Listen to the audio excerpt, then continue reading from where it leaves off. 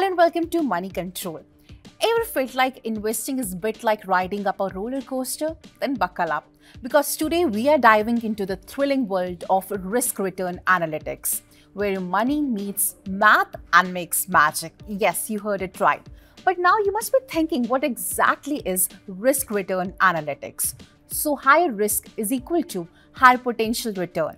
Now, risk return analytics is the GPS for your investment journey. It helps you understand the trade off between the risk you take and the return you expect. Think of it like this would you rather invest in a safe government bond or take a chance on hot new tech stock? That's the risk return dilemma. You might be having a lot of times. So risk equals to uncertainty and return equals to profit that we all know. Now let's break it down for you. So risk is the uncertainty, the chance your investment might not perform as per your expectation. And the return is the reward, the profit you make.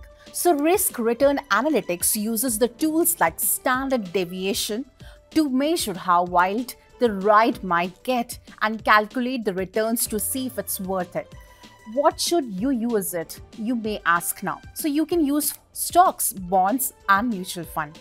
Anytime you're making an investment decision, whether it's buying a stock, diversifying your portfolio, or choosing between the mutual funds, the risk return analytics should be your best friend. It's like checking the weather before a hike. So Sharpe ratio, if we talk about it, then it is return minus the risk minus the free rate or the volatility as per the conditions. So let's say you are comparing the two investment. One gives you 8% of returns with higher volatility, the other gives you 6% with lower volatility. But which one is better? Now you might get puzzled in that. So enter the Sharpe ratio. So it tells you how much return you are getting for each unit of risk higher Sharpe ratio, the better the investment. So that is how you can come out with a solution for your investment choice. Now there are several models to help you out. So CAPM predicts the expected returns based on the market risk. The Sortino ratio focuses only on the downside risk because let's face it, we only worry when things go south. VAR and CVAR. They tell you how bad things could get on a really bad day.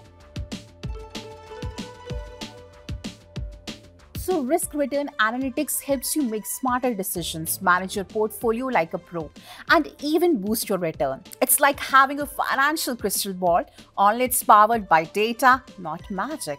Depends on the historical data, ignores the qualitative factors. Of course, it's not perfect. It relies heavily on historical data.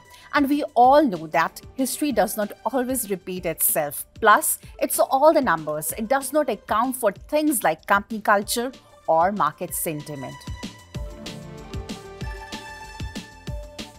Now, at the end of the day, investing is about balance. So, risk return analytics helps you find that sweet spot between playing it safe and going big.